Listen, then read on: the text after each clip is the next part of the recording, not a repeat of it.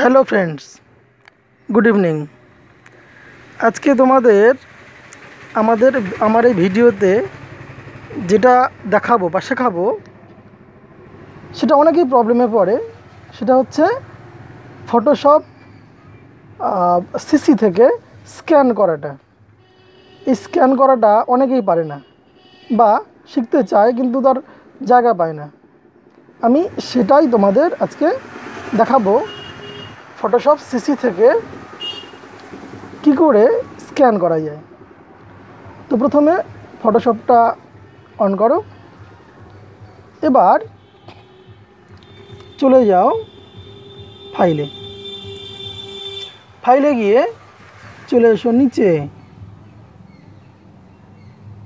নিচে দেখতে পাবে লেখা আছে ইম্পোর্ট ইম্পোর্ট থেকে সরাসরি চলে যাও এখানে।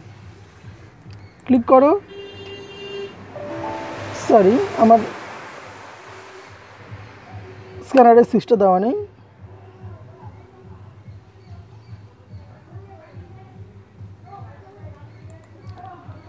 আবার চলে যাও ফাইলে। চলে এসো ইম্পোর্টে তারপর চলে যাও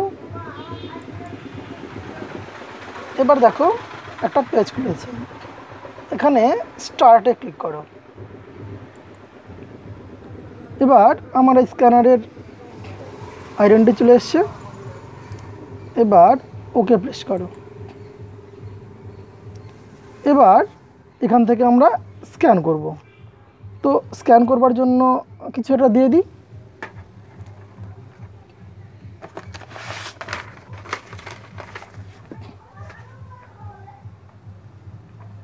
এবার স্ক্যানে ক্লিক করো।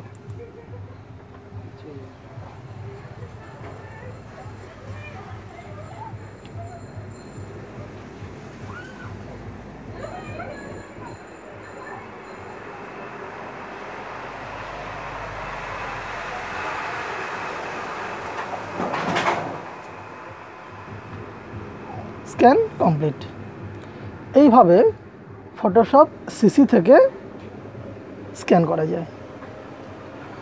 আশা করি শিখতে পেরেছ।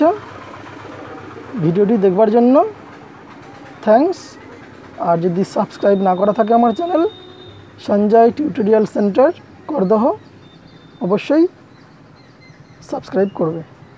Thank you for watching.